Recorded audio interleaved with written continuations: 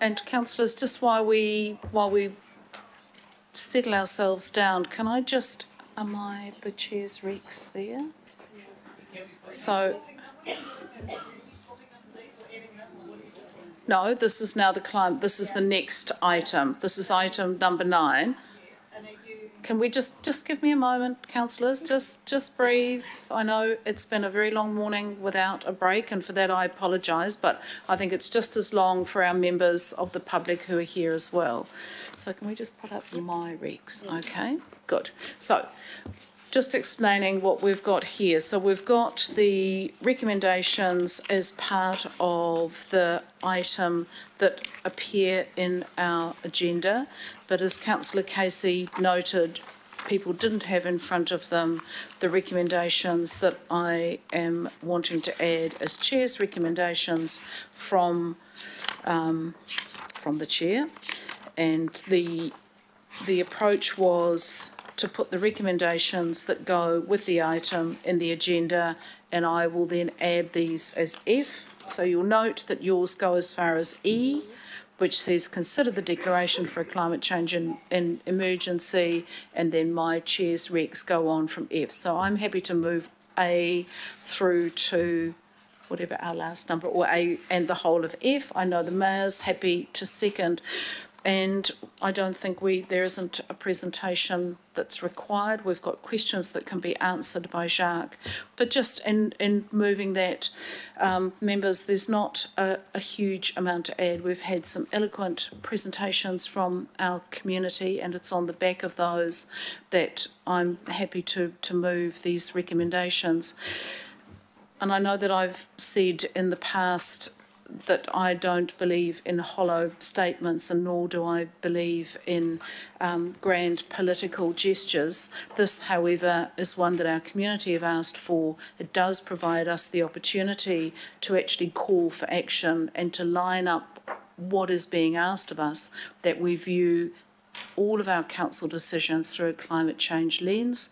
And you'll note that we ask in here for um, I just can't, sorry, oh, I can't. Can we just scroll up? I just want to show the, can I just undermine the recommendation that calls for the voluntary and then mandatory recommendations as part of the council?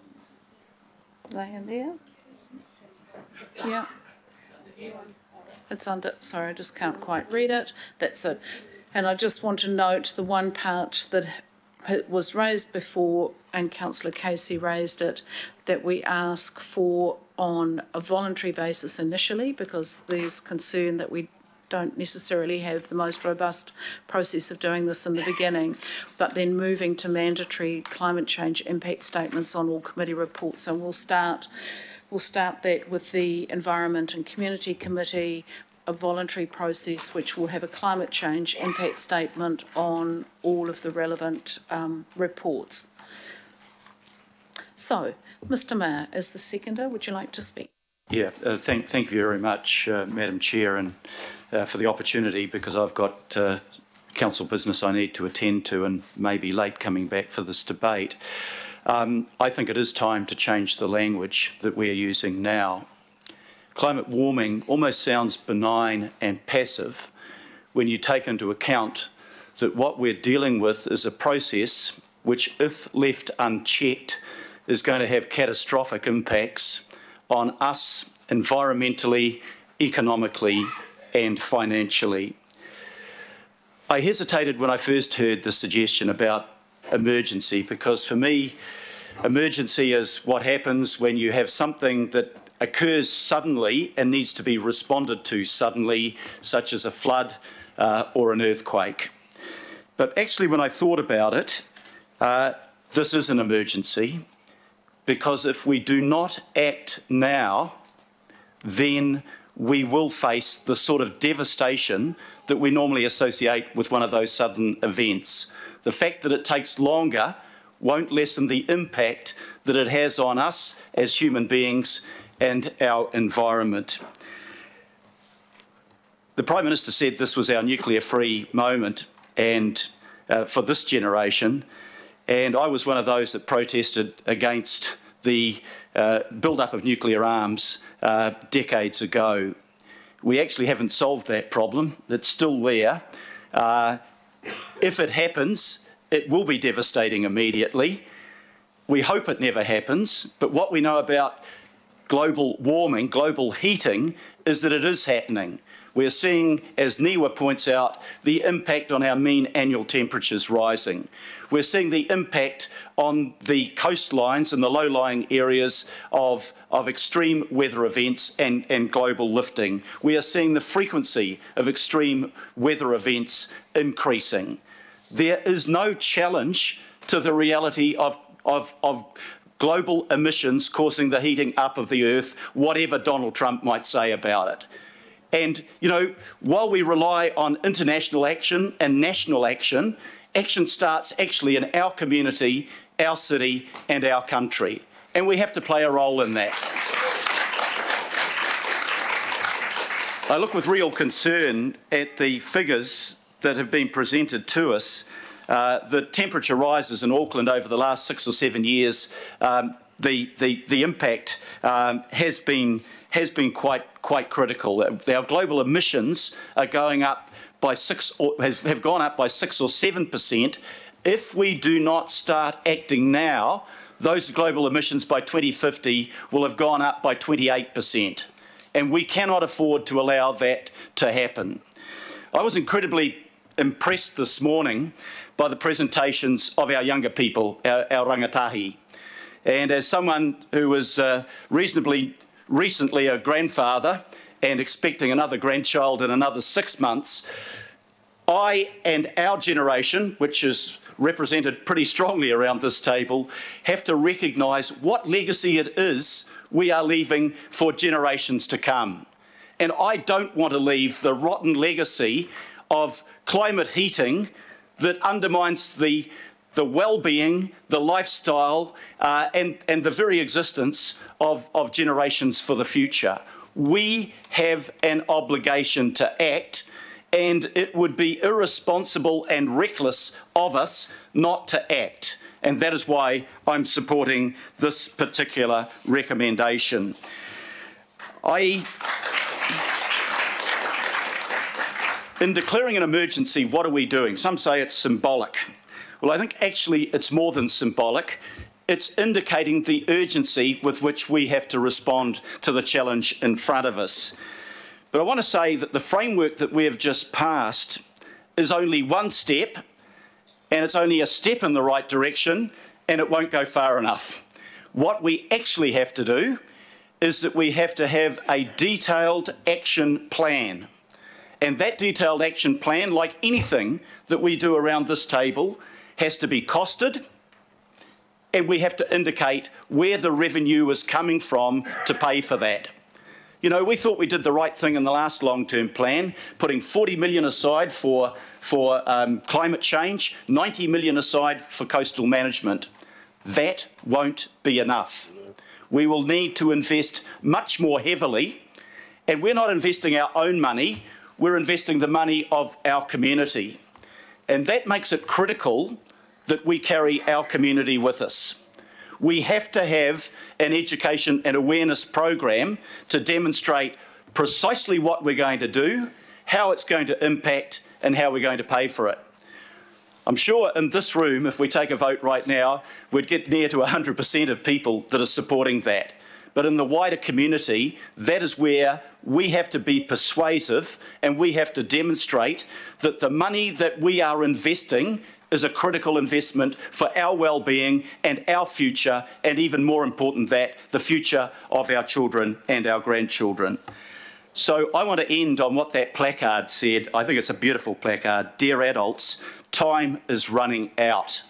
It is running out, and this resolution is needed to say that our intention is to act now. We will do it thoroughly, we will cost it properly, we will in indicate that what we are doing is the best way to counteract it, but do it we must. There is no issue more important ahead of us in the next three years and decade than tackling the problem of the heating of our earth and the devastating effect that it will have on generations to come. Uh, Madam Chair, I'm, I'm very proud to second your resolution and congratulate you on your role in bringing that forward.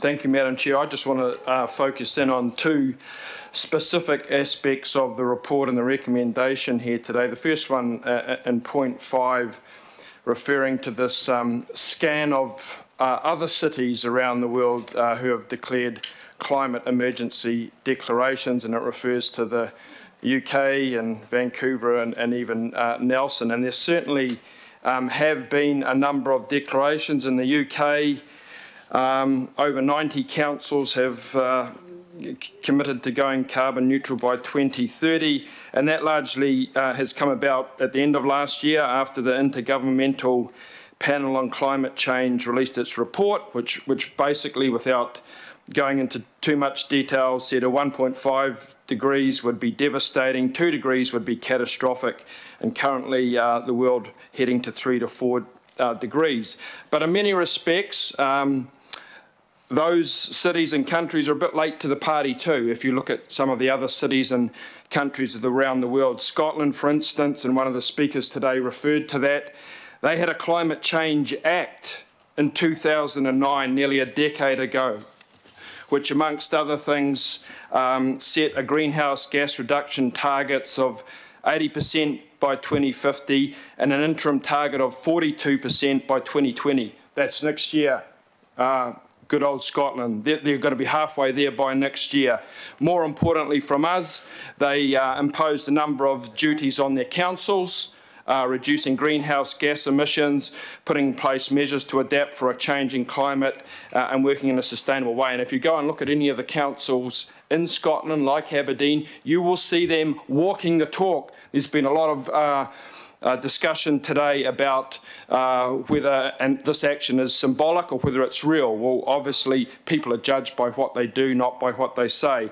Uh, and in Aberdeen, if you look through the council documents, no matter where you look, you get a sense of real commitment to combating climate change, um, whether it be from their, their general statements of intent, uh, leading and acting as an example to others, reducing emissions, they go into the schools to get it out into the community. They commit to delivering projects that um, adapt to climate change. If you go to their corporate intent, similarly, and someone uh, today presenting talked about um, equivocal language. There's no equivocal language in Aberdeen. We will design and construct all new infrastructure to be energy efficient. We will continue to invest in green energy transport projects and sector and so on. They are emphatic, they mean it, and they are doing it. I hope that this is a pattern that Auckland Council uh, will certainly follow here, because we do need to in Auckland. In our report, between 29, 2009 and 16, our overall emissions increased by 5.6%. In Scotland, they're going back 42%. We're going forward 5.6. and if we continue on that path, it'll be 27% by 2050. So we have every reason to act and act quickly in Auckland. Um, Recommendation C that's up there refers to what is this climate emergency really uh, in terms of uh, any uh, definition under the Act. Uh, there, there isn't one, and a declaration of climate emergency has no other inherent statutory or legal implication. So it's up to us to make it mean something and, and, and to respond to the overwhelming demand from people here today. I would just say, though, in concluding, that it is going to be actions that we're judged by, not policies or documents. There's a very good article and stuff about this meeting today, which talked about Auckland Council having all the right bits of paper, all, making all the right noises, uh, and so forth and so on.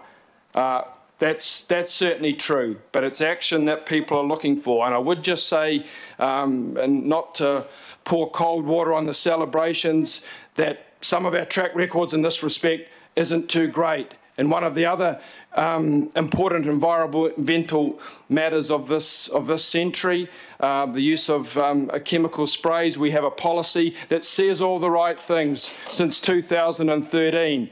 The groups that came in here and applauded it much in the same way as our, our climate uh, action supporters today uh, were initially buoyed by that. Six years on, they're entirely disillusioned because on the ground there has been no action, and at a time when around the world, all other countries have been, many other countries have been moving to ban and, and to restrict the use of glyphosate. In here, other, certain parts of Auckland have actually gone backwards. They've gone back two decades. So I would just say that I hope our action today uh, will respond to the overwhelming demand of our own people. And for that to happen, I agree with my colleague over there who does walk the talk and has always walked the talk that we get people from our communities to be involved in that because, in my view, that's the only way this council is going to be held accountable on a decision by decision basis. So I hope during that consultation, ladies and gentlemen, that you or your representatives asked to be involved in monitoring and seeing that this just isn't noise and words, it is action. Thank you.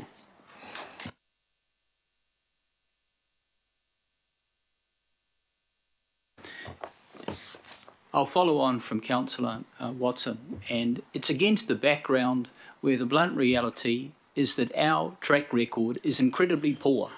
If you rate us with other cities, and John mentioned some, I could mention a whole raft of them, and countries for that matter, that are reducing their emissions. And New Zealand has not done that, and Auckland has not done that. The number of cars on the road is going up. The emissions from those cars is, are arguably also going up in many quarters. But what really concerns me is if I track down to F, just what voluntary means, because we need urgency around that. And if I give you just a sense of that urgency right now. So as we speak, we have a downtown tram that cannot connect to Britomart because Panuku is not designing a bridge to allow it. Are we going to deal with that? We have Panuku allowing apartments along the water's edge at Hobsonville, at West Park. And the unitary plan was changed to allow that. Right on the water's edge, I ask you. We have RFA planning to decimate a stadium at Western Springs with a huge loss of sunk carbon and build an entirely new facility for New Zealand cricket at huge cost, 100 million. But that 100 million is a huge amount of sunk. Councillor, councillor, Sunk councillor. capital. Can we, I know these are issues I'll you're lower that. passionate about. Can we just stick to the item I'll in stick to that. So our trees across Auckland are being consistently decimated, decimated as we speak because there is no blanket protection for trees. So yes, we can have an urban forest strategy, but as I speak today, there will be hundreds of trees across Auckland, if not more, being systematically felled. And some of them very mature specimens of Pohutukawa and others that are taonga. And they are disappearing as we speak. And I know where they are. Many of us know where they are. And what have we done? When I asked for us to do some reporting around that, to at least arrive at the data to support a plan change, there was scarcely any support around the council table. We've got Watercare, treating water to the nth degree, and then tipping it into the sea with no reuse virtually at all. Compare that with other cities. We've got a report from the urban from the audit and risk department that's mentioned in here that categorises this issue as moderate, moderate residual risk rating. I'll repeat that moderate residual risk rating. That's part of what we're considering today. We had no increase in our budget for climate change this year. We've got seawalls going up without any consideration of the Ministry for the Environment's Dynamic Adaptive Pathways response. So if we look at what we're doing on a decision by decision basis, and I endeavour to bring this to the attention of councillors on every decision, we're often making the wrong decisions, and we're continuing to do that. So are you going to address those issues that I'm raising with you right now? Because they are fundamental. Are we going to allow the tram downtown that runs on electricity that saves significant emissions to actually go to Britomart? Are we going to allow Panuku to stop that? Because that is precisely what they're doing now, and that's just one example. So, coming back to the Mayor's comment, act now. Yes, we need to act now. To Councillor Watson's comment, walk the talk. Yes, we need to do that. And yes, let's do something voluntary, but frankly, we're beyond voluntary and it should be mandatory. So, can we have a report on how quickly that can happen? Thank you, and my apologies for the uh, elevation. That's quite okay. It's an issue we're all passionate about. Just on the voluntary to mandatory, um, we we could have put in requiring the reports to be mandatory. Again, I think it's much better to have good work than hasty work. People could have made up any old tosh about climate change um, and put it in as a statement. I'd much rather it be absolutely valid and meaningful because if we are going to make our decision and through the climate change lens, we need to make sure that lens is accurate, that it withstands scrutiny, and that it fundamentally changes the way this council operates. So I'm happy to wait for a few weeks while we do it better. Councillor Hills. Thank you, Madam Chair. And yes, it does feel a bit strange calling an emergency on something that probably should have been called when I was a kid or earlier. Um, but I support it and I support uh, the framework that we just passed as well. I think it's clear from everyone here today, but also the action across our country and across, broke my pen, across the world that this is an issue that we all must act on in every part of the word. And we keep talking about cost all the time, but I think the greatest cost is not doing anything. And we never seem to measure that. We always talk about the cost of infrastructure or the cost of a policy or the cost of electrifying, but we never talk about what the actual cost of doing nothing is the cost to the environment, the cost to our animals, the cost to our future generations. And it's so fantastic to see everyone here, but especially um, the rangatahi that came and spoke. I remember a few years, I wasn't on the council then, a few years ago, when young people came here to speak on the unitary plan and about the want and the need to live within a city and close to public transport, close to cycling walking. They were booed by a whole lot of older people, none that are here today, but they were also those those people that booed those young people were supported by some of the councillors around this table exactly. on those decisions on the unitary plan, yep. and I'm actually glad to hear the young people saying now that they will keep us all honest on those issues. When we try and turn a car park into something else and people vote against that or cause other issues around that. So I think we all need to step up, but on every decision, actually be accountable to what decisions we're making on those issues. I do really, really support the fact that the action plan has been working with people along the way. I worry if we go over four weeks, I don't think we can call something an emergency and then consult for more than four weeks when so much work has been done for so long. The Auckland plan last year clearly sets out our plans on, on climate change. This is part of that. We've already voted for 1.5. We've already voted against deep sea oil drilling um, consents in and around our city. I think we're already on our way, and people know what climate change is. If they don't know, they're pretending. Um, the science, there's no debate anymore. The science, yes, we can say 95% of scientists, but we don't actually, we shouldn't be debating it. It's like debating if water is wet, and unfortunately, all our ankles we're ankle deep in the wet when it rains now. So I think we can see what is happening in all our communities, and unfortunately, people are jumping to seawalls and jumping to, to building things to prevent the water coming in instead of looking at the major problem. And I don't actually see us as too little or too small to make a difference because that's just a cop out because every single person can be making a difference. When we talk about nuclear free, it was actually Devonport six years before the government um, changed its mind or made up mind. Devonport said they would be a nuclear free borough council, and the dominoes happened from there um, through all the other borough councils and across New Zealand at the time. But I think it's clear that everyone in this room is speaking up, and it shouldn't be a young versus old or um, rural versus city or anything like that. I think everyone is affected, but what we have seen um, is the big loud protest from younger people potentially um, lately because we know the dire, dire effects of doing nothing. So, Martini, Ma mono karapa Tifai. By many, by many, by thousands, the work will be accomplished. This is all of us in this room and the city that need to act now, because if we don't, um, well, we all know what we're heading for, so or what we've already got to. So, thank you, thank you, Madam Chair. Thank you for everyone who's working on this, but we need to do this faster and starting now.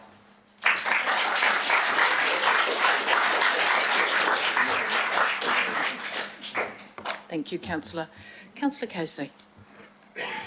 I won't take too long. I just want to agree with my colleague, Councillor Walker. Um, the climate emergency flag needs to be hoisted every day here, every day. It needs to be hoisted at every local board meeting. It needs to be hoisted at every council controlled organisation meeting. And one of the ways we can do that is simply tell them to put in a climate impact report. Now, we did that with the Maori impact statement. And some of them were good, some of them were bad. They got better. If David was here, he would, talk to that. Now they're very good. So I'd, I'd, I'd like to take out the words voluntary in the first instance just because of that. We just do it.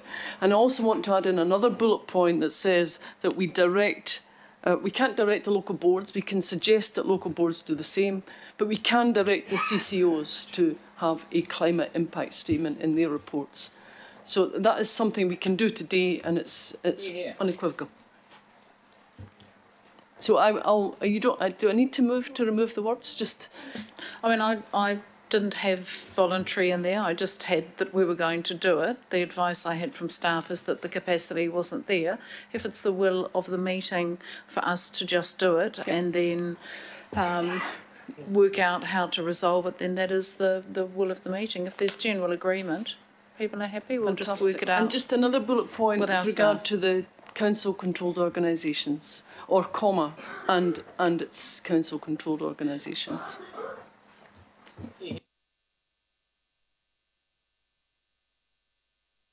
just we were just doing this bit there, so we take out the initial on a voluntary basis, and you were wanting to add in.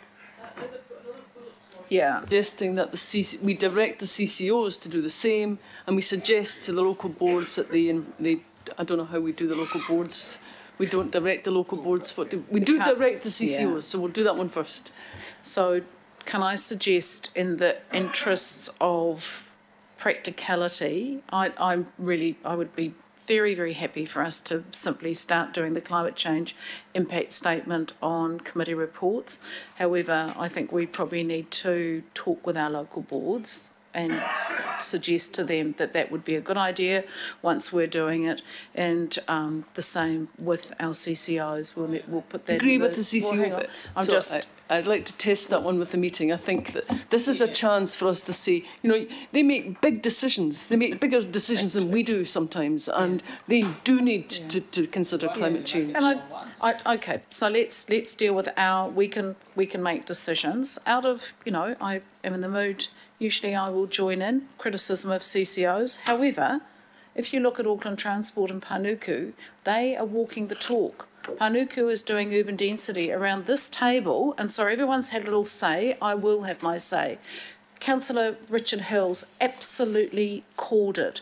We sat at a meeting here where our young people were almost spat at, they were sworn at, and they were derided for requiring urban density and getting rid of at grade car parks and changing some of our, our plans, our unitary plans, to make them climate change resilient and fit for the future. I will never forget that. It's possibly one of the most vile meetings that I've I've experienced. Around this table, this current table, we have people who voted against selling at grade car parks, who have voted against changing the unitary plan to require mandatory car parking in apartments, which we should get rid of, have voted against public uh, funding for, for public transport initiatives, who voted against the petrol tax, and who have voted against issues that are climate change resilience um, initiatives, and instead have been led along the populist path to support the things that some of our communities want. They've derided the lowering of speed limits, they've encouraged the widening of roads, and they've, um, you know, conducted this the business of some of these committees in a way that is not uh, commensurate with this. And now I'm really interested that I'm hearing some of those same people saying completely the opposite. So I think this is our one chance where we can all pull together on this one issue. There's an awful lot of this going on. If we line up behind the emergency and we line up behind the framework, I think we can start making decent decisions. But let's not pretend that we haven't tried to make some decent climate change decisions around this committee that have been voted down because of populist interference by um, some of our community who are still denying climate change. It's it is it, it makes me very very angry. So we'll Well get said, back to it. Well said, Um, Chair. Well said. Thank you. So if we can just, a little bit of rewriting of history going on, and I think we all need to focus on the issue in hand. I've got Councillor Newman, Councillor Darby, Councillor Lee, Councillor Bartley and Councillor Cashmore. Hopefully that will be taken as everyone having their speaking time, and then we will break because I think we're probably in urgent need of that. Thank you. Councillor Newman. What? No, Councillor Newman. Yeah, Chair, we've got a draft climate action framework, um, and now this item, and I think it's a pretty pale imitation of what climate action should actually look like. Um, today we're going to say emergency, but actually I think the public needs to be very aware that we are in grave danger of being business as usual. I'm not happy with how this council and how this country addresses climate change. We have a zero carbon amendment bill. That is a government bill that has no enforceable targets. The Prime Minister said this is her nuclear moment and a government bill that contains climate change targets that are not enforceable. Greenpeace is right. All bark, no bite. At this table, Madam Chair, we've got people who voted for a unitary plan, a unitary plan that, in my view, is very permissive. Sediment choked rivers and streams and filthy sediment choked harbours from development runoff permitted by this council. We have a declared intention by the government to remove the rural urban boundary. They set it out in the state in the speech from the throne to unlock land supply. Is building a bridge from Weymouth to Karaka good for the environment? Is building houses on floodplains at Takanini North and at Drury good for families? How about building houses on ancient sacred lands at Ihumātao? Is that good for people?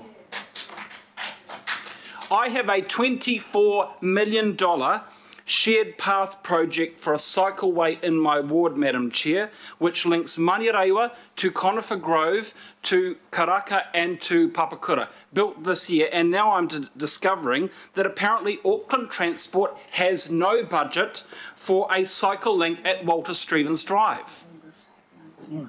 Only Papakura in my ward is currently diverting food waste from landfill. Now we can cope with that because Papakura is but a fraction of Auckland, but how are we going to cope because we've got no food waste plant for Auckland? Well, And my turn to speak.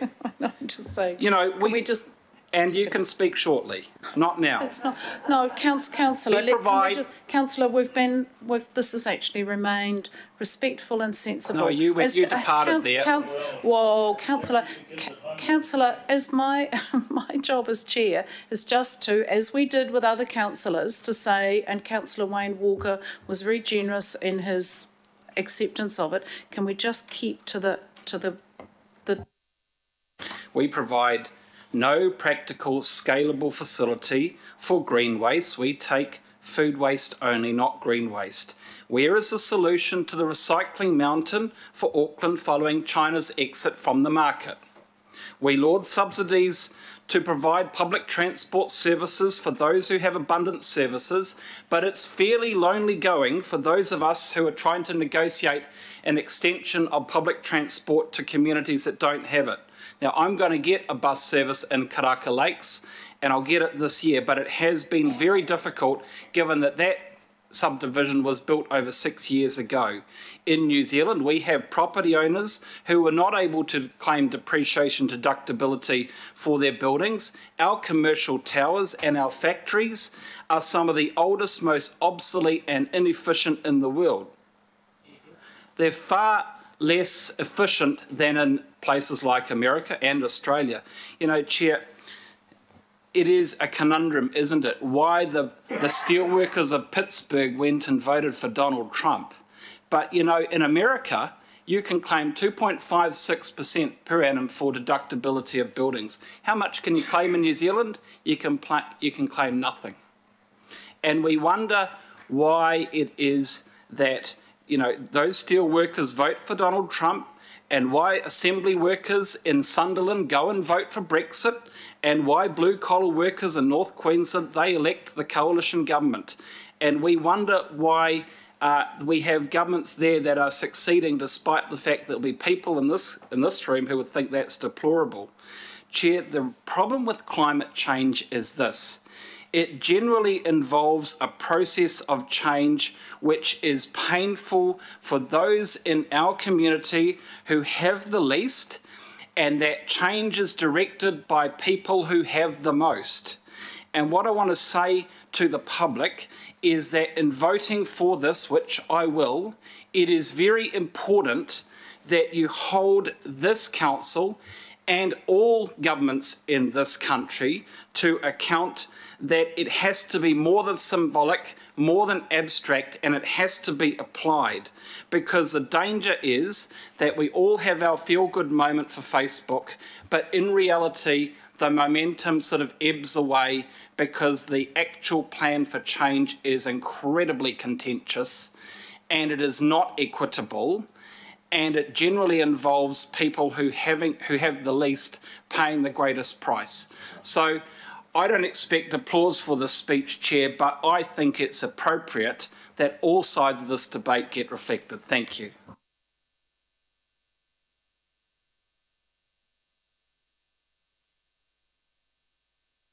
We're just doing a check. We've got Councillor Darby Lee, Bartley, Cashmore, Simpson, Filipaina. If we are still comfortable, we can keep going till 1.30. Are people comfortable with that? We can cope and then break at 1.30? Okay. Councillor Darby. Thanks, Chair. Uh, look, that's why earlier on I suggested this paper go first, and wouldn't it have been different uh, if we had have done this paper before the uh, climate change action framework paper? Um, for this paper, we're actually debating it. We didn't debate the former. For this paper, our debate is animated, energised, and somewhat loud. Um, and uh, it wasn't that for the former paper, which really uh, has me questioning, did we really read the first paper? Did we really read that there were 60 actions identified in that paper? That there was a plan an action plan. And then sitting under that, there were subsets of other actions, and they would apply to our CCOs, the whole part of our, or all parts of our organisation. Um, and I can't help but think, looking back, we've now, we're now declaring the emergency, you know, the call to arms, the call to action. Uh, yet in the first paper, we actually backpedaled. We changed words out from plan to framework, and I won't go back on that one. We actually discussed why we wouldn't consult with urgency, or we wouldn't consult as the staff were ready to do. Their technical paper was deep. We should have got really engrossed with that. And this is important, but for some reason we've just done a flip and made our big focus here and the and where we actually deal with the emergency, we've. Done a light over easy. I think there's been some talk also not only of we need more time with our community, even though our staff said they're ready and they've got and there's an attachment there which says confirms they're ready to go to public engagement. Then there's the talk of we need to get the cost accountants to look at every conceivable cost of the actions. Councillor Hills has covered my ground, really. It is, I would say, what is the cost of inaction first? That's the first cost that you need to look at. And that's something that we've discussed in our many workshops. the cost of inaction. Now suddenly the brakes are going on because we haven't got the cost accountants in. Important, yes, but that comes in the next stage. Except we're putting the brakes on, park it up a little bit, delay it, and then we come to the emergency paper. I don't get it. Um,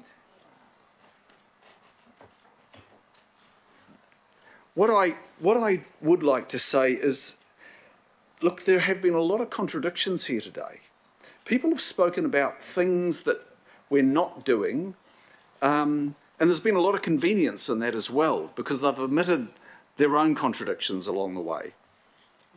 Um, and I think we're at risk here of finding ourselves in an absolute muddle on climate change um, unless we get our house in order.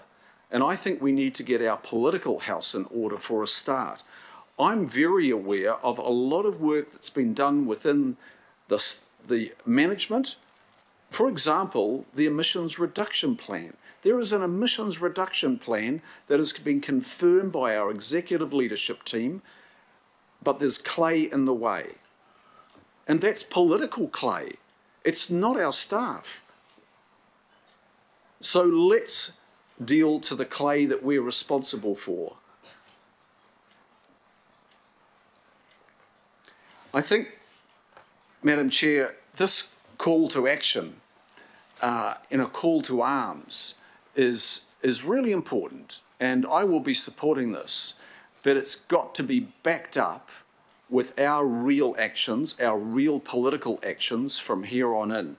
And I note the last one there that we have climate impact statements on our agendas. I think that's been long overdue, and some of us have discussed that. Um, but I would hope that that doesn't have to go through the mill that the Māori impact statements have had to go through, and how often um, the Independent Māori Statutory Board has reminded us that there have just been cursory uh, ticks to those reports and that they are, have not been genuinely addressed.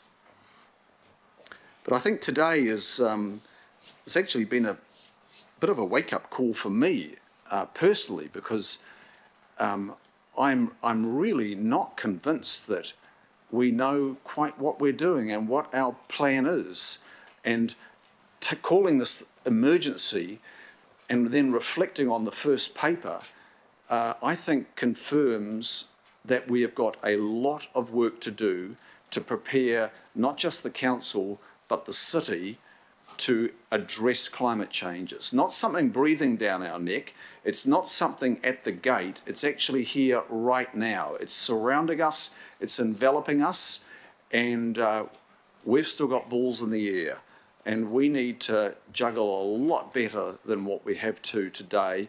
Uh, and it's been pretty clear to me that we have not got a handle on it.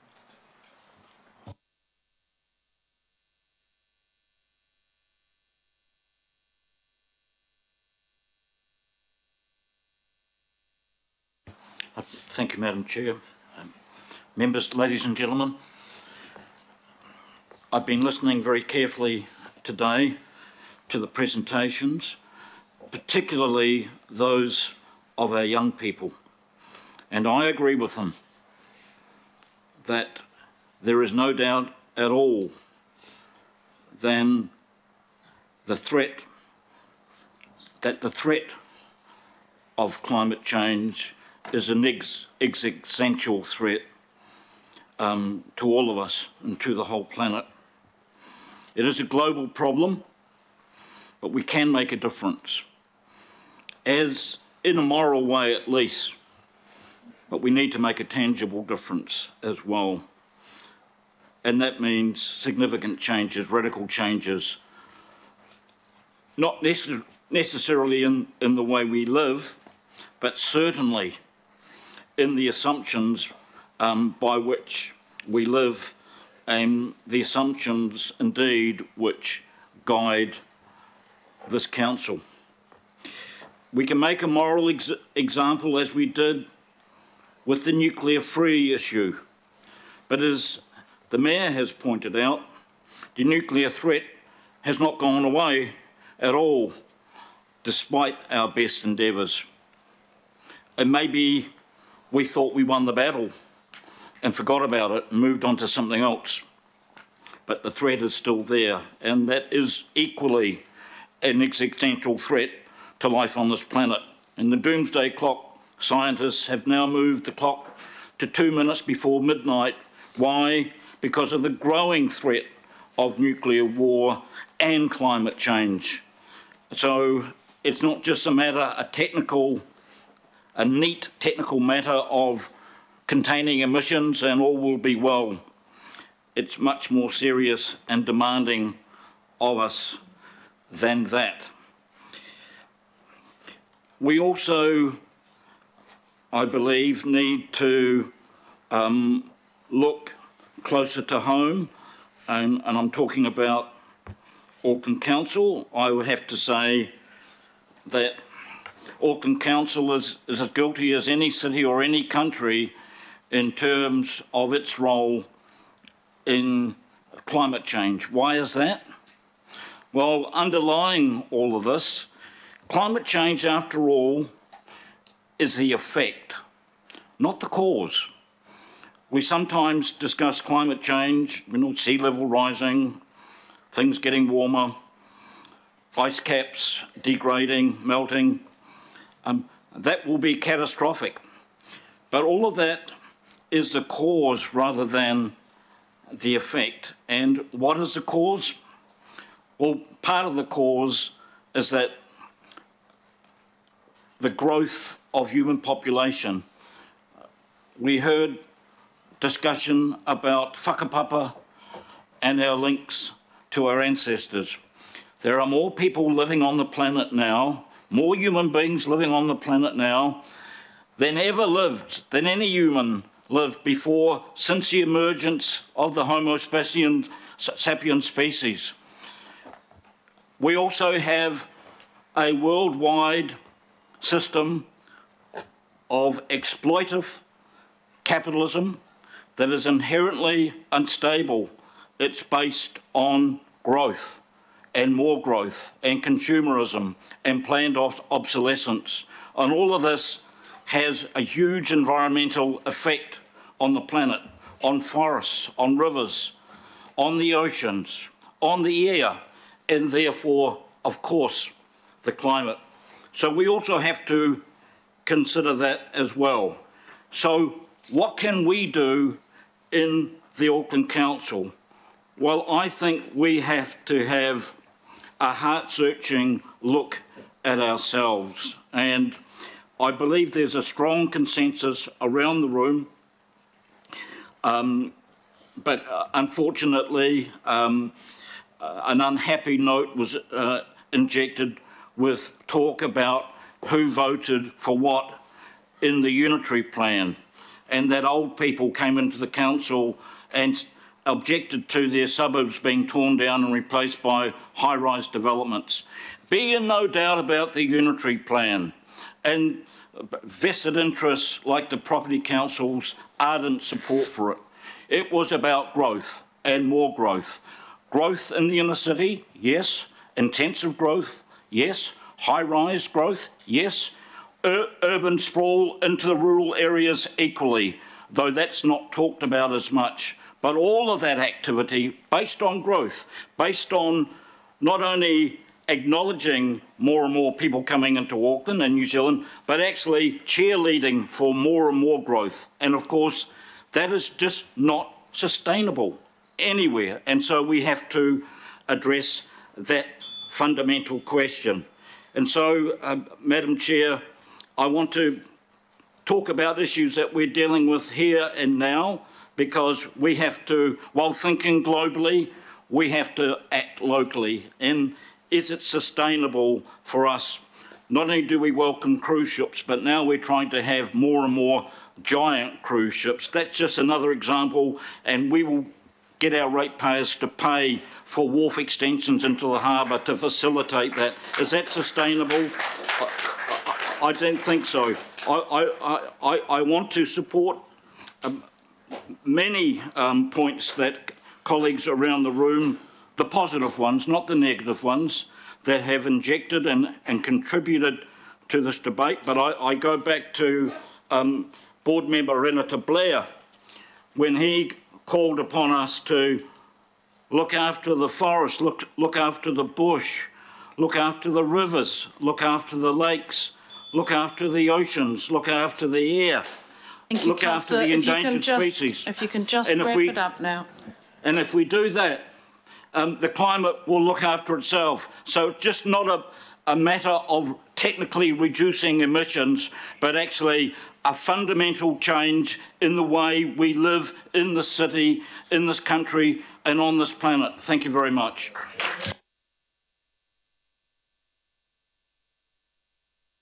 Four more councillors. Councillor Bartley. Um, thank you, Madam Chair, and thank you for the opportunity to speak to this. And thanks, Jack, for um, for for presenting this report. Um, I, I I really wanted to be here today, uh, given what I'm going through uh, personally with my family. I, um, I I wanted to be here for this item and also to hear from the the public forum. Uh, and I give my apologies that I have to leave uh, after this item. But I wanted to, to speak in support of the recommendations. Because in my ward, I have low income, I have middle income, and I have high income. And this is one of those issues where there's a unified um, agreement to do something about this. And um, I, I, look at the, I, I, heard the, the quote that someone mentioned earlier that which is joined together becomes an unbroken line. And I wanted to be here today to present that viewpoint from my ward uh, to do something about this climate crisis.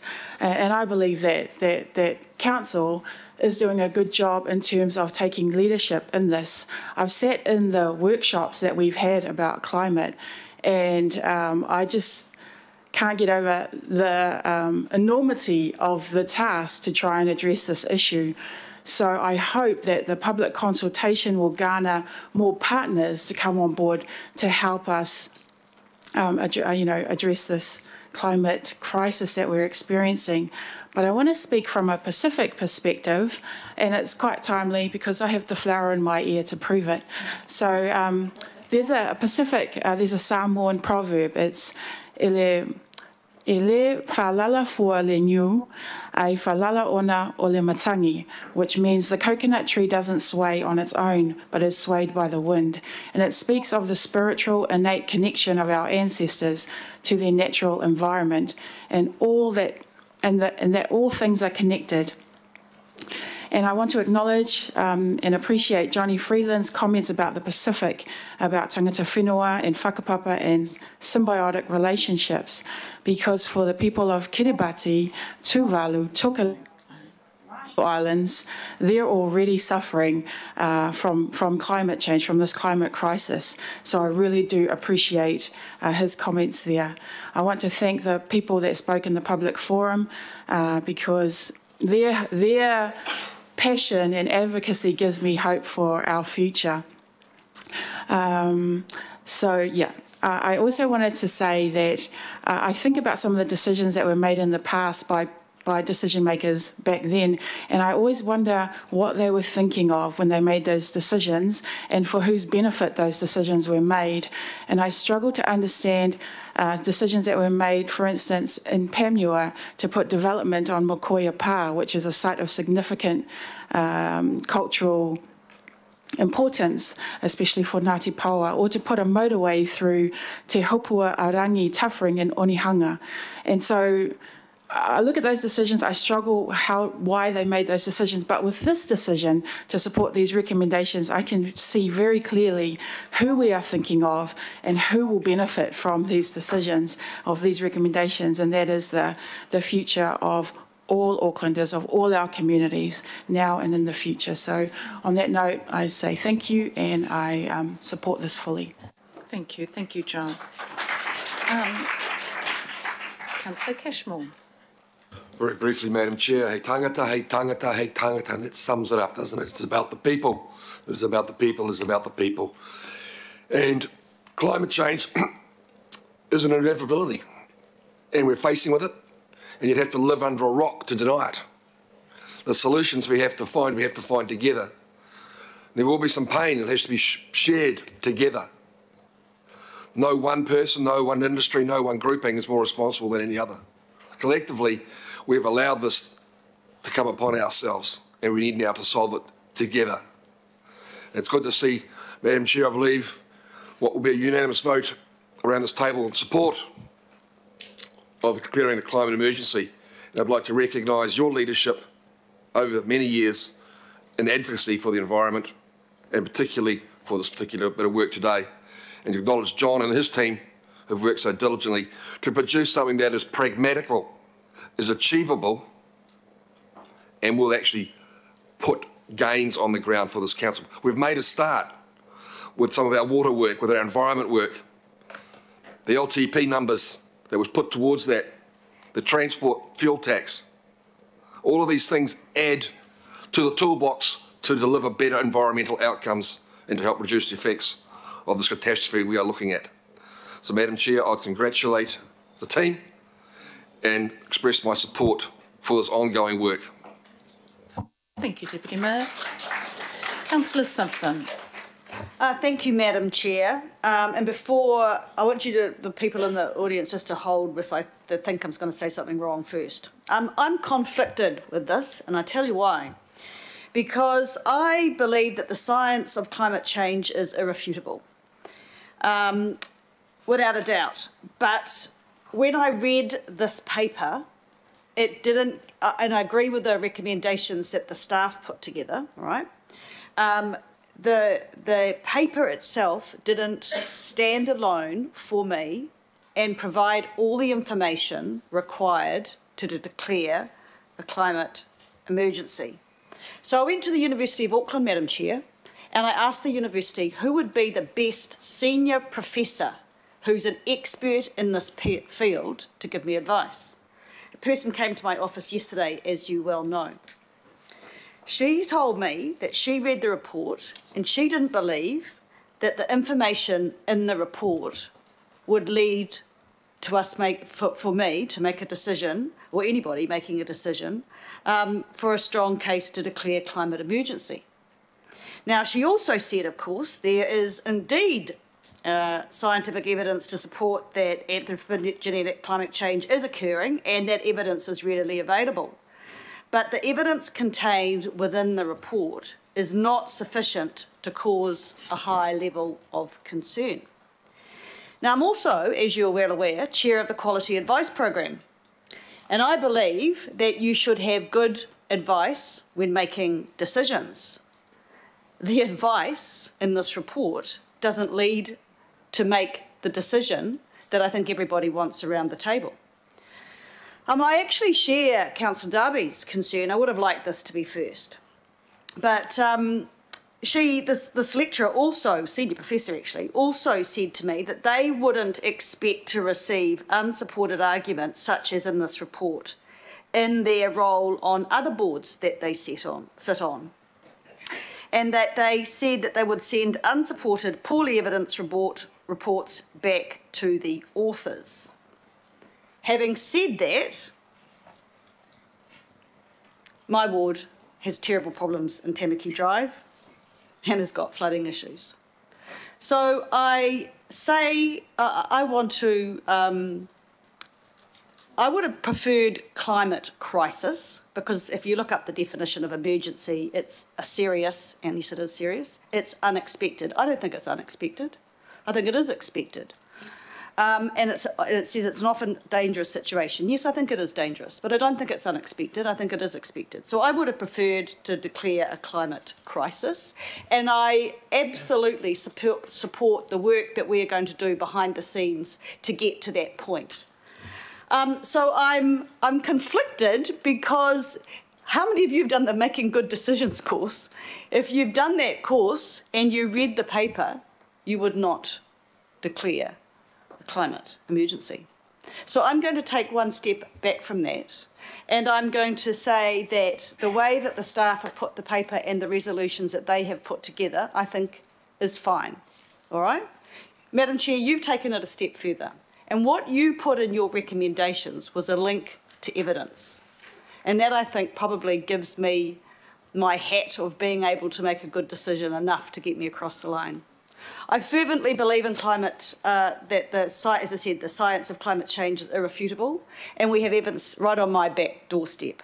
Um, but I am sorry that we haven't put together a paper that the public have all the ev- that, that shows the public that we are making a decision based on the um, uh, on the right evidence. I go back to young Sarah. I don't know whether she's still here.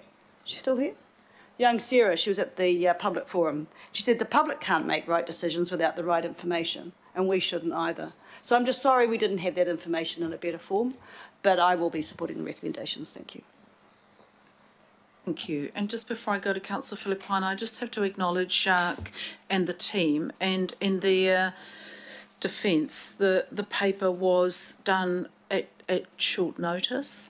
The ability to have the entire narrative of climate change and the current um, science may well have taken several um, trailer loads of of reporting to go with it. So there is an element of taken as read, and for that I acknowledge the work the staff have put into it, and I take a little bit of I take all the responsibility for the fact that this is simply a request for climate change emergency based on everything else we know. So your point's well made. Thank you, Councillor Simpson. Councillor Filipaina.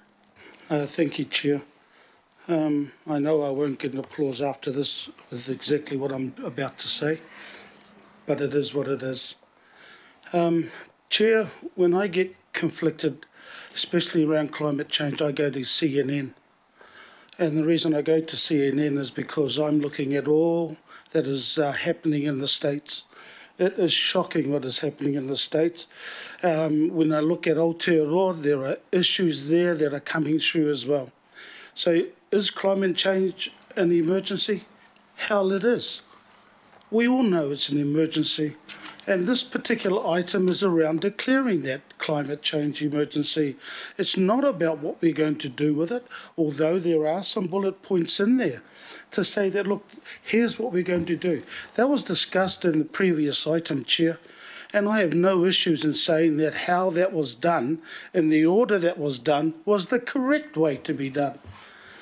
Because if you if you're hearing some of the people who've said around this table, you have a look at it. The only change with that particular item, the previous item, Chair, the only change was the fact that we were going to have a look, and rightly so, at the budget to go out and, and end up engaging with our community.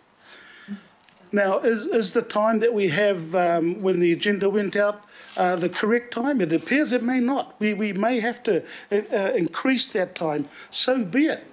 But at least we will make that decision, decision after. But we have said that this is the framework.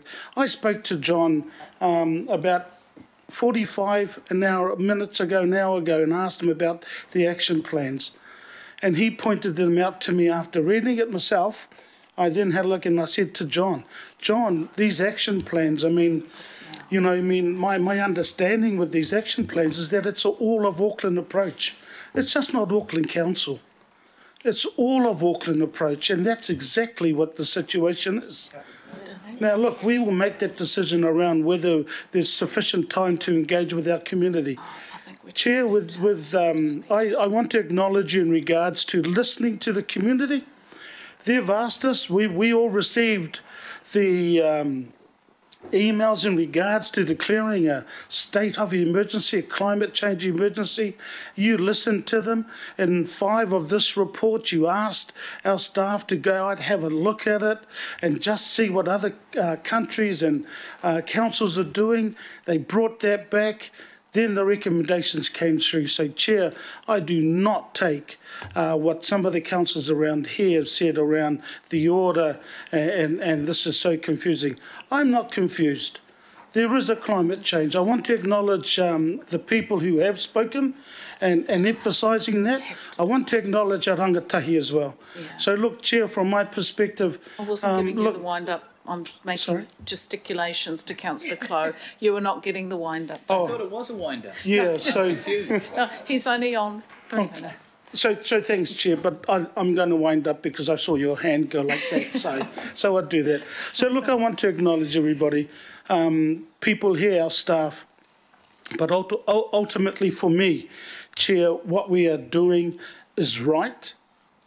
And uh, I look forward, whether I'm, I'm around this table or not, um, but I look forward to doing as much as I can to help not only Auckland Council, but Auckland as a whole and Aotearoa in regards to this emergency. So, Chair, I will definitely be supporting this. Thank you.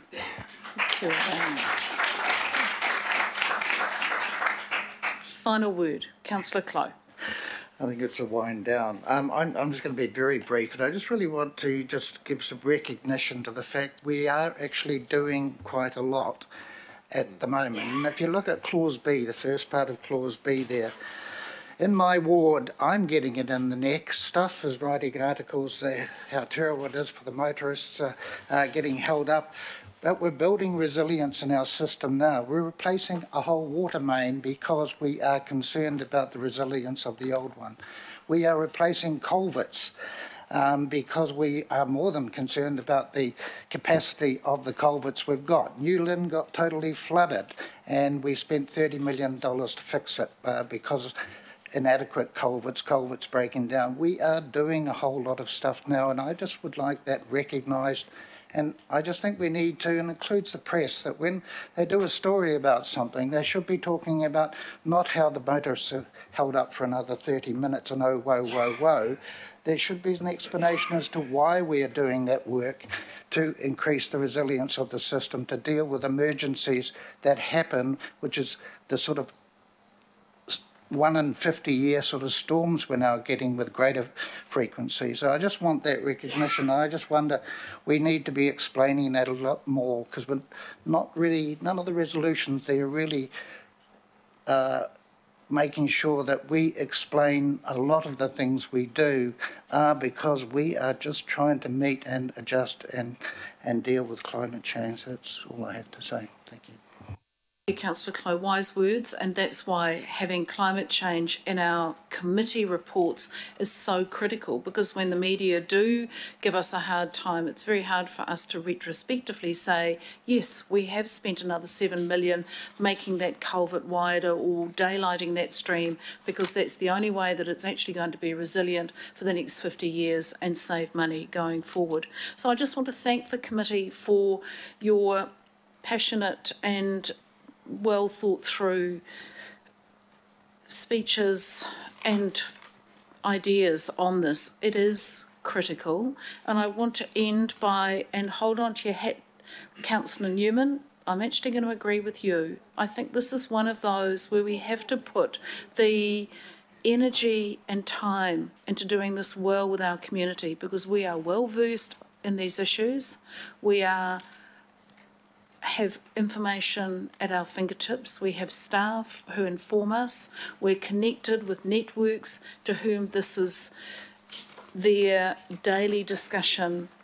They're intellectually connected with us, but there's a whole vast group of Auckland out there to whom this is a complete anathema. It is uncharted territory for them and it seems to be irrelevant. And it's our job as we go with the climate change emergency discussion as well as the climate change framework discussion out into all those communities and dignify them with a sensible well constructed and timely consultation. So I think by bringing the two together, we need to be talking to those people that um, Councillor Newman quite rightly raised. So I'm going to put the recommendation. It's been moved and seconded. Oh, and Councillor Casey, we added in, sorry, there's the requesting staff of council-controlled organisations to include climate change impact in their committee reports. So I'm going to put the recommendation which does declare a climate change emergency just so that people are comfortable and they know what we're voting on. Moved and seconded by myself, seconded by Mayor Goff. All those in favour please say aye. aye. Against? Carried unanimously. Thank you, Councillor.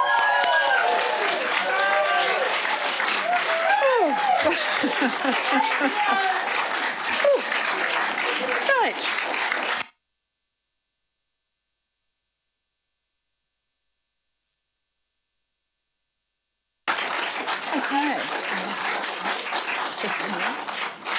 You, councillors. Let's um, we that's not going to happen to us again. I don't think so. Thank you, thank you to our members of the community who are here for your forbearance and for putting up with the long debate and discussion. We're now going to adjourn for half an hour. You're welcome to come back and listen to water, but we understand if you need to go. Thank you.